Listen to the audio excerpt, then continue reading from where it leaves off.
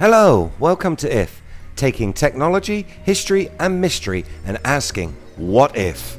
If you enjoy the content and would like to see more, please remember to hit that subscribe button, like, and share. So let's get on with it. In this video, we are going to take a look at the Vatican files. Let's find out if the conspiracies are true. What do we actually know about this most mysterious place? The Vatican's secret collection of documents, known as Archivum Secretum Apostolicum Vaticanum. Apologies for my bad Latin. These files contain chronicled records covering 12 centuries. They include many unique objects and letters, including writings of Michelangelo, archives identifying magical and mysterious objects, correspondence, and even a supplication composed on birch bark by the Canadian Ojibwe tribe in 1887. People have always speculated on what could actually be found in the 50 plus miles of racking in the Vatican's secret Hall of Records. A very select group of researchers, scholars, and writers have been permitted to enter these hallowed halls and view documents. The documents they viewed having to be requested before their visit. This leads us to a chicken and egg situation. If we don't know what is in the vote, how can we request it? This is why many believe that you must be part of a society that has and shares these secret forms of knowledge. So, what do people think is hidden in this vast library of secrets? Well, firstly, the truth behind the life of Jesus Christ.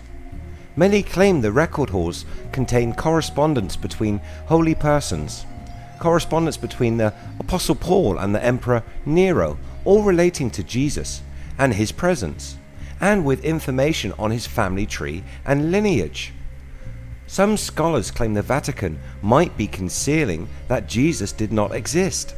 We took a look at this in another video, if Jesus was real. Secondly, alien contact and hard evidence for the proof of extraterrestrial life. Hidden confirmation of alien life and its presence on Earth is said to be securely kept under lock and key in a vault. Items such as extraterrestrial skulls, chronicles containing confirmation from the Pope that there are real aliens and they have a plan to tag and track everyone on this planet using the guise of religion to enact this plan. Knowledge on the date the world will end. We have also covered this in another video, linked above. The archives are said to hold the three predictions of Fatima. These prophecies have been hidden since 1917, after the three Portuguese youngsters were given visions of the future after being visited by the Virgin Mary. Their predictions were given validity after Mary appeared to the whole village at a time and a place foretold by the children. They made three such predictions on what was to come, and of these three, two prophecies are said to have occurred, with the third being kept locked away and held secret. Many theories have been suggested for the third prophecy the collapse of the Catholic Church, an atomic holocaust, to a catastrophic series of events leading to the end of the world. Other types of secret information may be held, like pornography and evidence of sexual misconduct. The library is said to be home of the biggest accumulation of erotic entertainment in the world. This information is affirmed by Copenhagen's Historical Center for Erotica, where their guests are routinely told that the Vatican holds the biggest gathering of erotica on the planet. Researchers Camille Paglia and author William F. Buckley Jr. have also supported this claim. They may also hold evidence and the records of sexual misconduct by priests. It is commonly known the church systematically hid this evidence of the misconduct to protect its priests. If these records were to see daylight, it could end the Catholic Church. And no conspiracy would be complete unless we have the Illuminati. Again, something covered in another video. See the link above. People claim that these records are controlled by the Illuminati. It is said that after the group's disbandment, the Illuminati actually hid itself, choosing the most noteworthy organizations on the planet as their hiding place.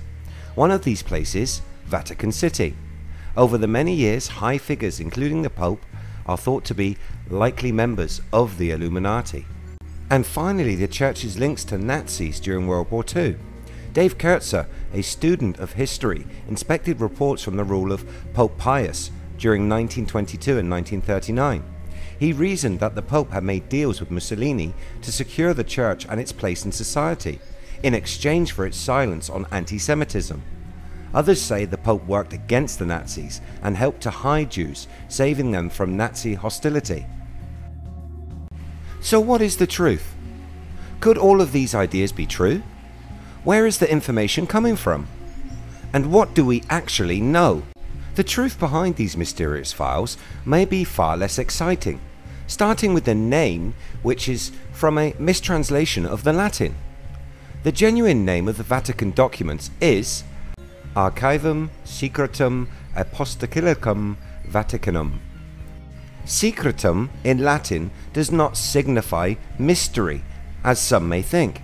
It more accurately translates to individual or private. The chronicles hidden are in reality collections of private letters and records kept by past popes over the hundreds of years of the Church. The record halls were created by Pope Paul. The Pope had a notable collection of documents and items of significance and realized that such records ought to be saved. The 17th century was a time when the mindset was that of an average man need not know of the correspondence exchanged by their rulers and popes, so they were kept safely secured secretly locked away in the archives. These secret letters and notes could be seen by those in power, but it was not until 1881 that Pope Leo enabled specialists to see certain documents. A methodology for those that could visit the archives was developed, and this method has not changed for 200 years. Writers, undergraduates, and non historical specialists are not given access. A person who is an expert or an individual whom has demonstrated that he or she is sufficiently qualified and a genuine researcher may be allowed to enter to view the files. This researcher enters through the Porta Sant'Anna and are supervised by the Swiss Guard. However, before the researchers get this access, they must request the particular reports they wish to audit, and they are only permitted to view three documents a day.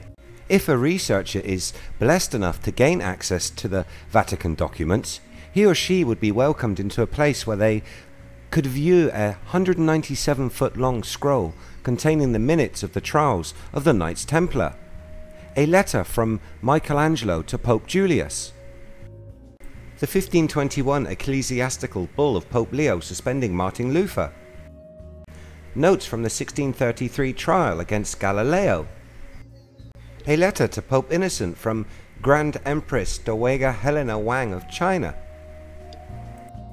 and letters from both Abraham Lincoln and Jefferson Davis requesting Pope Pius support for the Union and the Confederacy.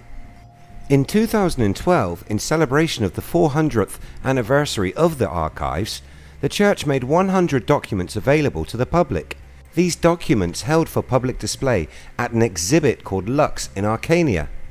Many still campaign to this day for the church to allow access to the library, saying the knowledge is the property of all mankind, but the Catholic Church still refuses. Does this mean they are hiding something? I would love to know what you think. Please leave your comments below, and if you enjoyed this video, don't be like the Vatican, share it with your friends. Maybe throw it a like or if you want to know more, give us a subscribe. Catch the latest content across all social media. Thanks for watching. Until next time.